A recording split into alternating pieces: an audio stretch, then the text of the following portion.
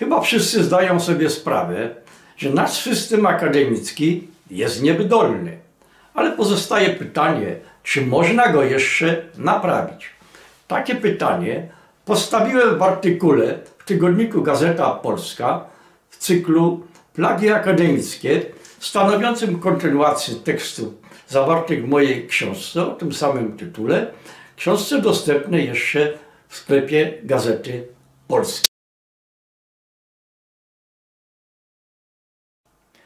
Chciałbym, aby mój artykuł trafił także do tych, którzy nie czytają Gazety Polskiej, a są zainteresowani naprawą systemu akademickiego w Polsce, niezbędnego do naprawy także innych sfer naszego kraju.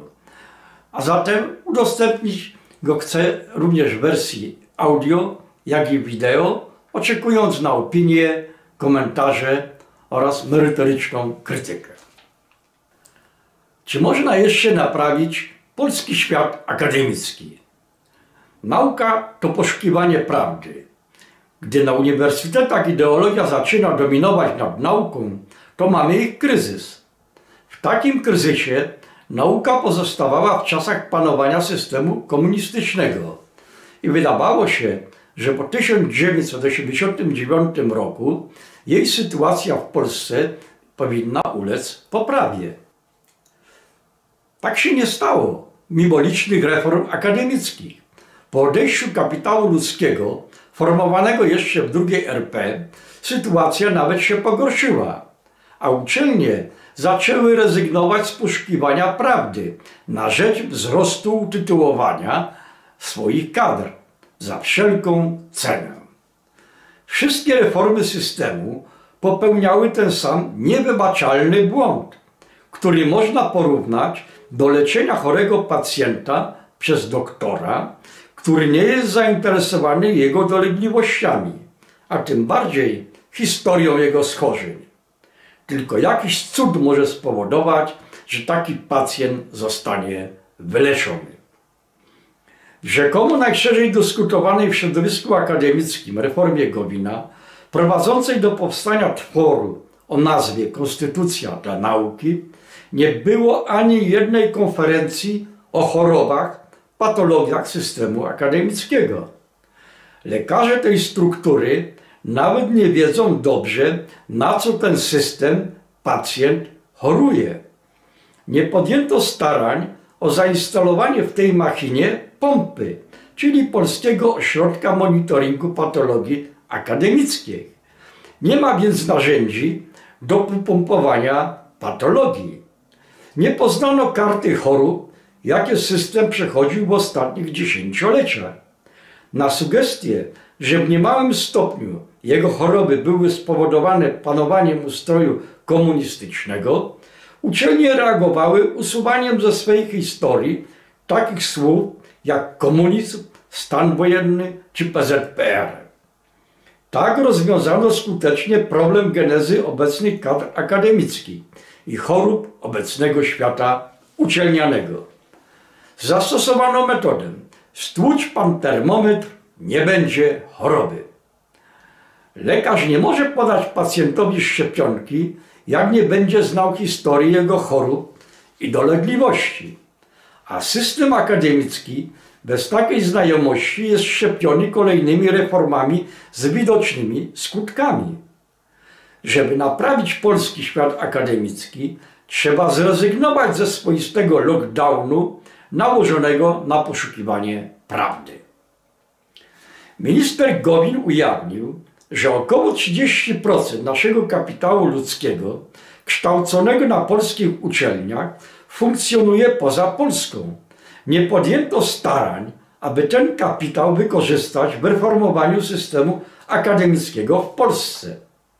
Nie stworzono ani jednego zespołu złożonego z przedstawicieli Polonii akademickiej. Szansa na powrót naukowców do Polski i zmniejszenie bezpowrotnej emigracji w obecnym systemie jest znikoma.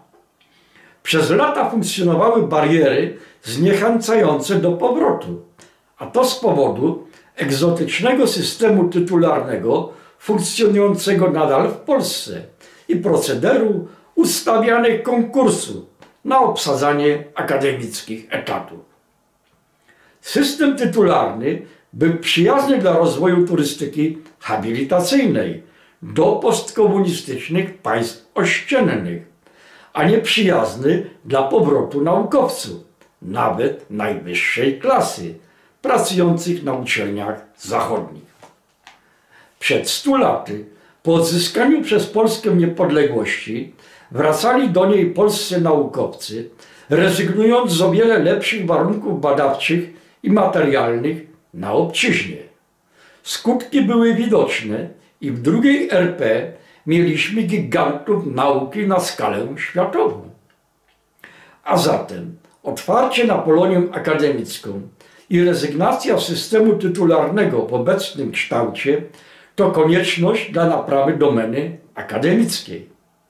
Nie da się tego zrobić również bez skutecznego wdrożenia w życie zakazu autonomicznego do tej pory ustawiania konkursów na etaty akademickie. Ten proceder, traktowany w innych krajach jako przestępczy, u nas jest powszechnie znany i bezkarnie stosowany. Kontrole NIK wskazują, że realizowane programy badawcze skutkują co prawda wzrostem stopni naukowych, ale nawet instytuty badawcze czerpią zyski głównie z wynajmu nieruchomości, a nie z działalności naukowej. Bez prowadzenia stymulacji mobilności kadr, likwidacji chowu wsobnego nie ma szans na ograniczenie nepotyzmu, układów pozamerytorycznych, nieraz o charakterze przestępczym. A do tego potrzebne jest zapewnienie jawności zarówno ocen pracowników nauki, jak i ich awansu, rezultatów konkursu, projektu. To są warunki podstawowe, aby wejść na drogę naprawy polskiego świata akademickiego, aby więcej znaczył w nauce i był przydatny społecznie. Reformy pomijające te składniki systemowe to tylko pozorowanie zmian. Autor Józef Wieczorek w oczekiwaniu na komentarze, opinie, merytoryczną krytykę.